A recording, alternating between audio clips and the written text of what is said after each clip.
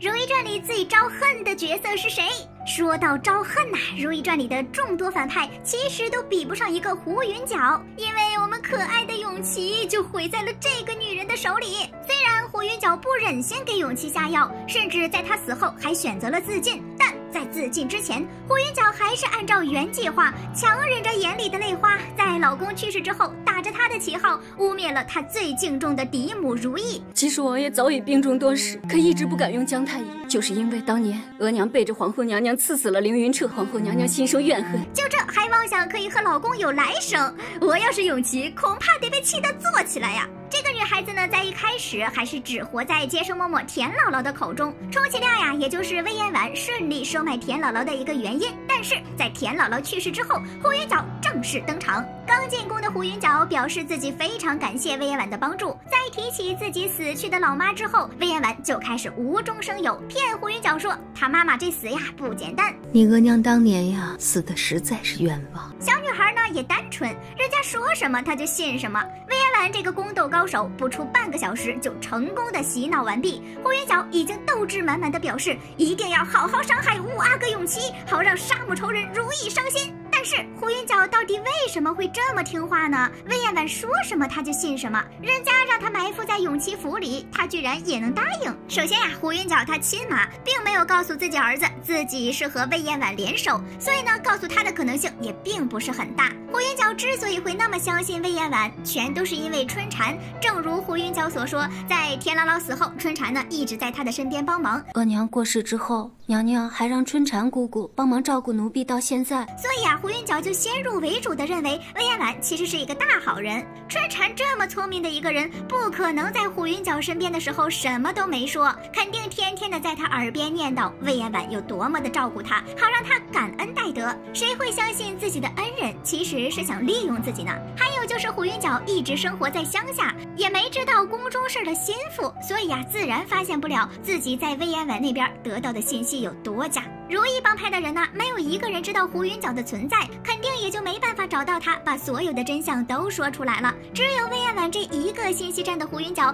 只能在深信不疑的路上越走越远。不过呀，还有最重要的一点，就是胡云角的亲妈田嬷嬷死后，之前魏延婉收买田嬷嬷的时候，她自己透露过，胡云角是自己和前夫的女儿。奴婢前头的夫君家里都身染怪病，后来呀，田嬷嬷来到了京城，女儿呢却一直养在乡下。胡云角这孩子虽然打小就是一个人生活在乡下，但是呢，对自己的老妈还是拥有一片赤诚的如沐之情的。在魏延婉跟前说起自己老妈去世这事儿呀，眼眶还一直红着。所以一听魏延婉说自己亲妈的死因另有隐情，当时年轻气盛的胡云角当然是愤怒不已，恨不得能立马下场给老妈报仇。魏延婉呢，又适时的在一边为他出谋划策，表面上呀一副我是为你着想的样子，胡云角就理所当然的相信了魏延婉的所有的鬼话。从此之后呢，这孩子也就正式开始了自己胡云角复仇传的故事编写。也不知道说魏延婉演技好，能装的这么逼真，还是说胡云角太单纯，居然相信有人能什么都不图的对自己好，还帮自己想办法报仇。胡云角根本就不聪明，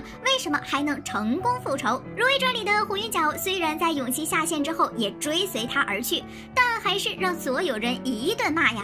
永琪和如意的母子情明明就是被这个女人破坏的，最后永琪的死和他也有逃不开的关系。可是虎云角这人的手段也并不是很高明，为什么他就能成功的搭上永琪，然后成功报仇呢？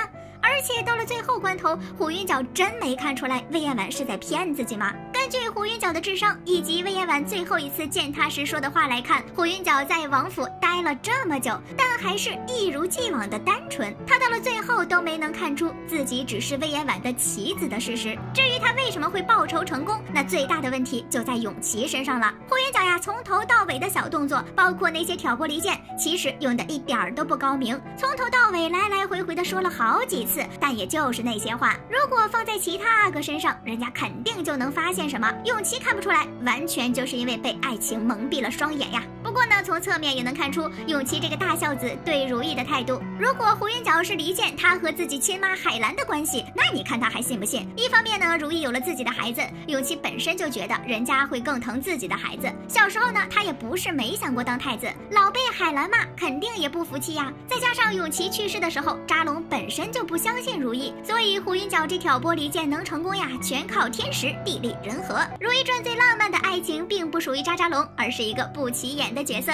扎扎龙在《如懿传》当中呢，拥有数不清的老婆，前期和青梅如意腻腻歪歪，后期呢美妾无数。按理说呀，他才是全剧中距离爱情最近的人。但是本剧最浪漫的爱情只属于胡云角和永琪。首先呢，他俩这个人设，一个是备受宠爱的皇室子弟，一个是准备抱杀母之仇的乡下女孩。这带劲的人设，要是套到现代呀，妥妥的就是霸道总裁爱上我呀。实际上，他们俩的爱爱情在剧中也确实是这么一回事儿。永琪某天下夜班回来，碰到胡云角和一群奴婢在院子里堆雪人。当时的他在永琪面前表现得非常的天真单纯，这就刷了第一波好感。到了半夜，大家都去睡觉的时候，胡云角又上线了。他跑到永琪屋子前面，吭哧吭哧的搬梯子，成功吵醒了永琪。之后表示自己只是想给燕子补窝。果然，这天晚上之后，胡云角的清纯善良不做作引起了永琪的注意。已经娶过大老婆小老婆的他，忽然就陷陷入了爱河。哎，可能是谁养大的孩子随谁吧。恋爱之后的永琪和自己的嫡母如意一样，变成了恋爱脑。虽然呢，他也没干出那些宠妾灭妻的事儿来，但也开始相信了胡云角的挑拨离间。对于养大自己的如意，渐渐的有了疏远的心思。